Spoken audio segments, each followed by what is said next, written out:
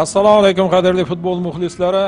Futbol bo'yicha o'zbekiston super ligasi qisqa tanaffusdan so'ng yana barchaning diqqat e'tiborida. Toshkentdagi paxtakor markaziy stadioni bugun paxtakor emas aynan o'n to'qqizinchi tur uchrashuvini uchrashuvlarini bu yil va yetakchilarni g'ashiga tegayotgan jamoa sifatida e'tirof etilyapti. Bu yaxshi bu zo'r. Bu surxonni potensiali o'sha imkoniyati anchagina yaxshi tomonga o'zgarganligini va bu o'zgarish o'ziga xos futbol olamidagi qarashlar bilan bezalmoqda. Shunday ekan bugun surxondan e, umuman o'zgacha o'yin kutish uchun toirov ham markazda to'rtinchi raqamda dostonbek tursunov yettinchi raqamda. Boburjon asqarov ikkinchi humoyun sherbo'tayev sakkizinchi e, diyor ramazonov o'n beshinchi raqam. Ho'p e, silvanus nemelini muxlislardan bir qanchasi. Xo'sh xo'sh. Jarima to'pi va uh surxon ham gol urishga ancha yaqin keldi. Xavfli vaziyat qizilqum darvozasi oldida. Birinchi vaziyatda hozir takroran ko'ramiz johir ilyosov ham e, bir narsa qilishga ojizlik qolgan edi. Mana chunki mana ko'rdingiz chunki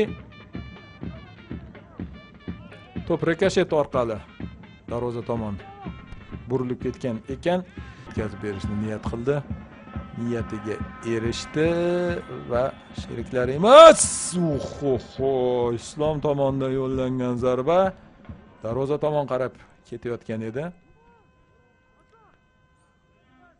Surxon futbolchisiga tegib maydon tashqarisiga chiqib ketyapti. Yana bir urinish. Yaxshigina zarba amalga oshirildi mana qarang.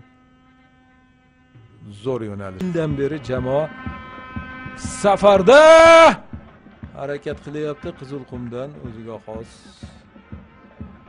hujum. Mana shu yigirmata bo'ladimi o'ttizta bo'ladimi yuzta bo'ladimi ikki yuzta bo'ladimi surxonni ortidan qolmaydi. Qayoqqa borsa boryapti lekin ashaddiy muxlislik son jihatdan kamu ammo o'sha mehr deymizmi sadoqat deymizmi? To'pni kimga oshirish masalasi? Va variant topildi. To'xtatish kerak to'pni bo'lmasam autga chiqib ketishi mumkin ilhom. Yaxshi uzatma. Va hozir pataf ham yo'q. Darvozaga bordiyu kirmadi. Bunaqasi ham bo'larkan. Bunisini ham ko'rdik. Islom kenjaboyev.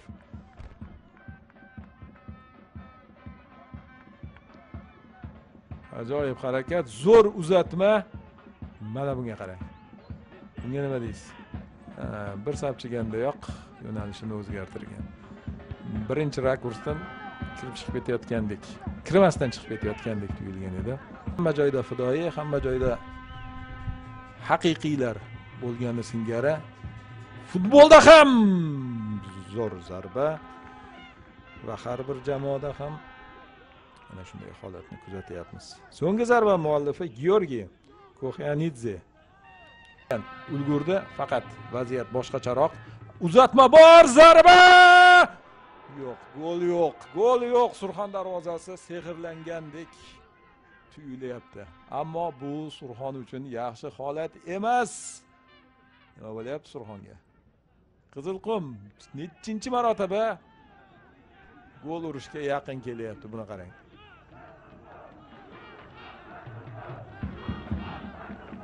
Islom kenjaboyevning o'zi ikki marotaba u tomondan bir marta bu tomondan bir marta. Islom kenjaboyevmi yana kimni ko'rsatish mumkin? Legionerlardan tashqari. Va va mana bu yerda qizilqum futbolchilari baribir o'z so'zlarini aytishga muvaffaq bo'lyapti. Men tarkibga qaragan yulduz izlayotgan bir vaqtda akaki solay surxon darvozasini ishg'ol etishga ulgurayapti.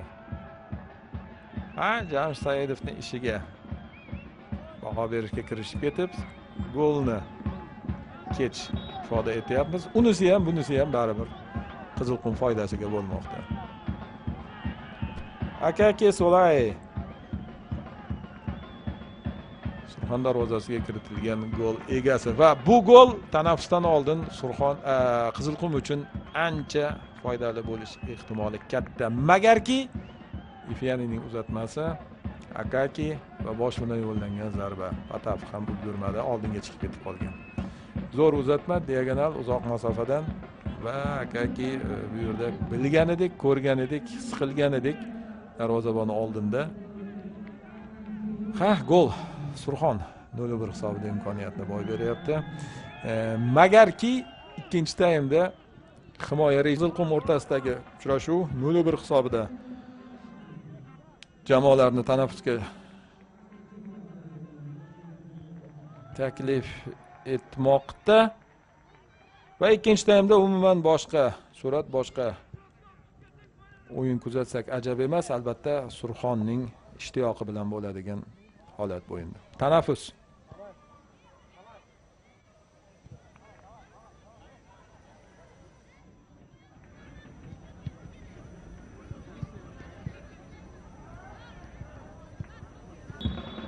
Masalasini birato'la uzil kesib hal qilishni xohladi. Vahobov qizilqumning navbatdagi hujumi. To'g'ridan to'g'ri hujum chizig'iga xavfli imkoniyat. Nega qaytarib beryapti? Va!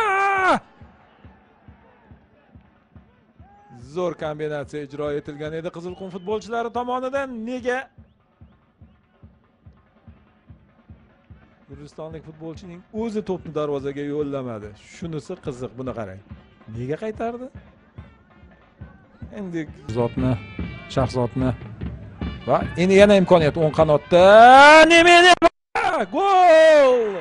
Surxon hisobni tenglashtiryapti. Baribir gol urdi silvanius nemeli.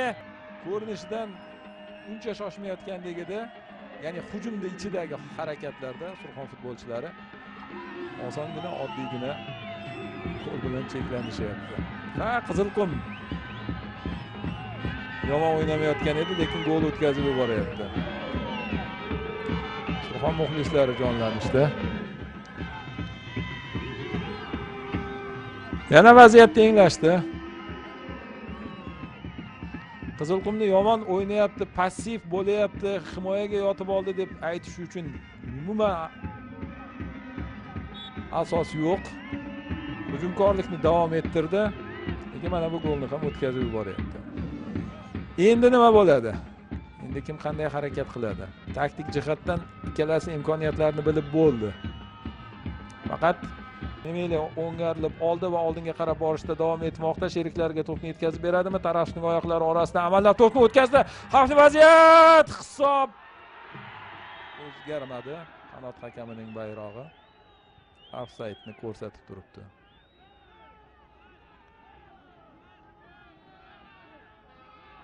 Hozir e, var ko'rib chiqishini aytyapti. Nasibullayev nima bo'lganini ko'ramiz. Yor to'pni egallab olish uchun islom o'tdi. Kenjaboyev zarba va to'p darvozaga borib tushmadi. To'singa tepdi. Yana bir zarba bo'ladimi? Ay georgiy koxyanidze o'zing urolmagandan keyin hakam bu yerda nima aybi bor?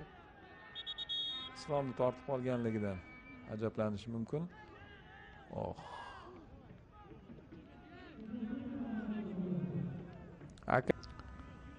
Jamshid saidov. Xo'p tarasov joyida usmonov joyida. Murodbek rahmatov. Va va va! Yana hisobda qizilqum futbolchilari oldinga chiqib olishmoqda. Mana bunisi o'ziga xos sensatsion natija bo'layotganligiga guvoh bo'lmoqdamiz. Qoyilmaqom tarzda to'p surxon darvozasidan borib joy olmoqda. Qizilqum muxlislari.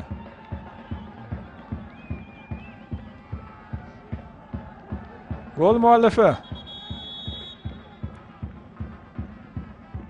Anvar sanoyevning maydonga tushishi uning uzatmasi va yaqin burchak islom kenjaboyev. Baribir o'z so'zini aytishga muvaffaq bo'lyapti.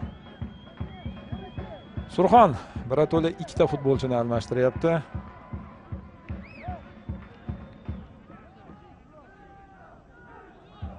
Yo'q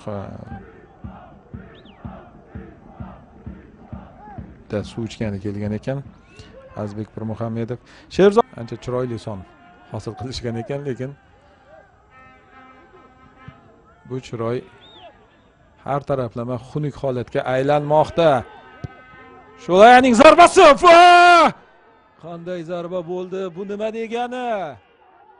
Shuncha paytdan beri sergey arslonov